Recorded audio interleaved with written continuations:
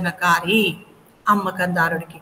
ఇక లాభాల గరిష్టీకరణ అమ్మకందారుడికి కలిగే మరొక ప్రయోజనం అమ్మకాలు ఎప్పుడైతే పెరిగాయో లాభాలు పెరుగుతాయి ఆటోమేటిక్గా. కాబట్టి లాభాలను పెంచుకునే విధానం సులభం అవుతుంది లాభాలను ఎక్కువ కష్టపడకుండానే సులభంగా పొందేందుకు గరిష్టంగా పొందేందుకు ఈ అమ్మకదారుడికి అవకాశం వస్తుంది. పొదుపులను ప్రోత్సహించడం అద్దె కొనుగోలు విధానాన్ని పాటిస్తున్నప్పుడు ఈ కొనుగోలు విధానంలో ఆస్తిని కొనాలని సరుకును కొనాలని ముందుకొచ్చే వారి సంఖ్య ఎక్కువగా ఉండి వారు ఎంతో కొంత తక్షణ సొమ్ము చెల్లిస్తేనే ఆస్తి చేతిలో పడుతుంది కాబట్టి మిగిలిన సొమ్ము మళ్ళీ నిదానంగా కట్టొచ్చు కాబట్టి ఆ తక్షణ సొమ్మును చెల్లించడానికి అవసరమైన సొమ్మునైనా సరే కనీసం పొదుపు చేసుకొని ఆ పొదుపును తెచ్చి ఇక్కడ పెట్టుబడిగా పెట్టి అంటే ఆ తక్షణ సొమ్మును చెల్లించి ఆస్తిని తీసుకోవడం జరుగుతుంది. మరి ఇది ప్రజలలో ఆ రకంగా పొదుపు అలవాట్లను ప్రోత్సహిస్తుంది. ఇక చిన్న చిన్న వర్తకులకు ఎంతో మేలు. ఎట్లా చిన్న వర్తకులకు కొనుగోలుదారులకు మేలు? ఈ విధానంలో. పెద్ద మొత్తంలో సరుకును కొనేందుకు డబ్బును వెచ్చించాల్సిన అవసరం లేదు. సరుకునన్నా ఆస్తన్నా పెద్ద పెద్ద మొత్తాలలో పెట్టుబడులు పెట్టి ఆ ఆస్తులను కొని ఉపయోగించే బదులు కొంచెం మొత్తమే ఇప్పుడు పెట్టుబడికి ఉంటే కూడా ఒక పెద్ద ఆస్తిని తెచ్చుకొని ఉపయోగించుకునే అవకాశం దొరుకుతుంది.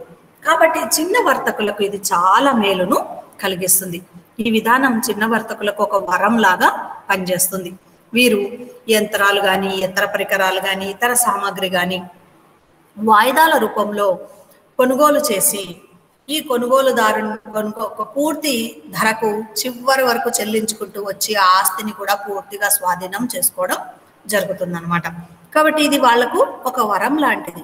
పెద్ద పెద్ద మొత్తాల్లో ఎవరైతే పెట్టుబడి పెట్టేందుకు రెడీగా లేరో ఏదో తమ దగ్గర ఉన్న కొంత మొత్తంతో ఆస్తిని తెచ్చుకొని పనిని ప్రారంభించి ఆ పనిలో ప్రయోజనాన్ని పొందుతూ ఆ ప్రయోజనం ద్వారా ఆదాయాన్ని పొందుతూ ఆదాయాన్ని చెల్లించి వాయిదాల రూపంలో ఆస్తిని కూడా స్వాధీనం చేసుకునేందుకు అవకాశం వస్తుంది. ఇది చిన్న వర్తకులకి ఈ రకంగా ఉపయోగాన్ని ఇస్తుంది. ఇక వడ్డీని ఆర్జించడం. ఎవరైతే అద్దె కొనుగోలు ఇది అమ్మకందారుడికి ప్రయోజనం. ఎవరైతే అద్దె కొనుగోలు విధానంలో సరుకును అమ్ముతున్నాడో ఆస్తిని అమ్ముతున్నాడో అతనికి అమ్మ ఆ- ఆ ధర కంటే తాను పెట్టిన ధర కంటే ఖచ్చితంగా ఎక్కువ ధర వస్తుంది.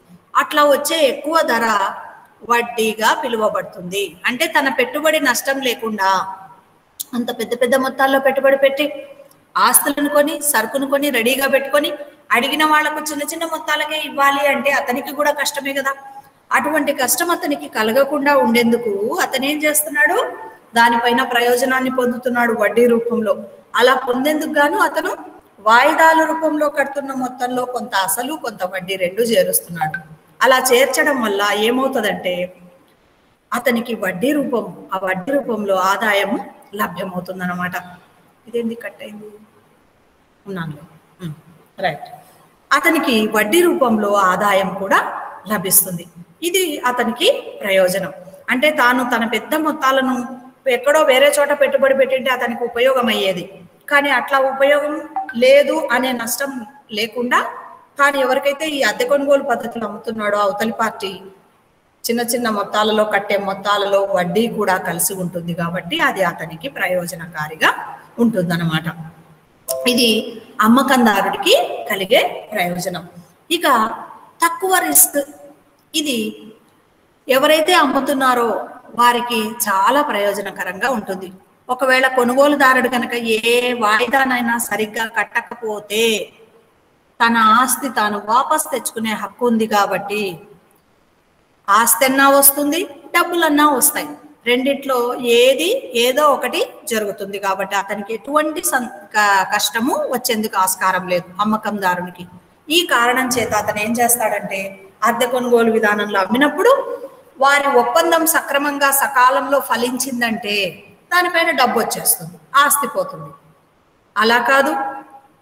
కొంత వాయిదాలు కొన్ని చెల్లించి తర్వాత మధ్యలో మానేసినాడు అనుకుందాం కొనుగోలుదారుడు.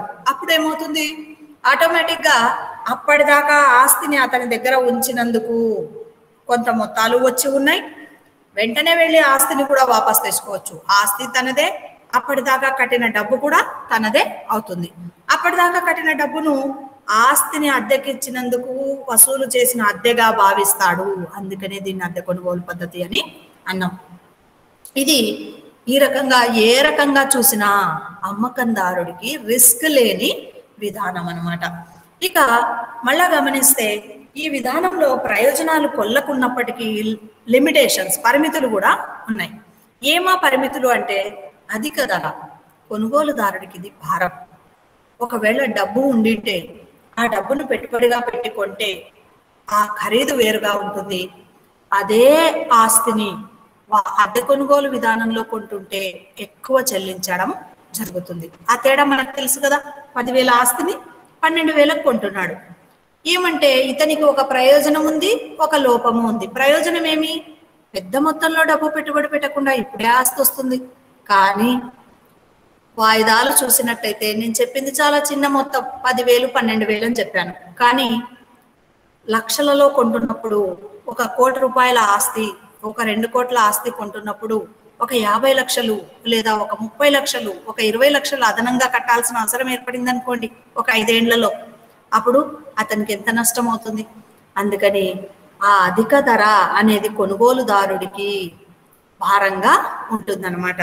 అది అతనికి నష్టం. ఆ లోపము ఈ పద్ధతిలో ఉంది. ఇక కృత్రిమ డిమాండ్. అద్దె కొనుగోలు పద్ధతిలో ఒక వస్తువుకు కృత్రిమ డిమాండ్ సృష్టించడమే కాకుండా కొనుగోలుదారుడికి అవసరం ఉన్నా లేకున్నా కొంత డబ్బు కట్టగానే మనకు ఆశ వచ్చేస్తుంది కదా అని చెప్పి దీన్ని పాటించడం జరుగుతుంది. ఉదాహరణకు అది ఇంతకు ముందు కూడా చెప్పినట్టున్నా ఇది. ఈ దీంట్లో బైకులు ఉన్నాయి. బైకులు ఎవరికి అవసరం?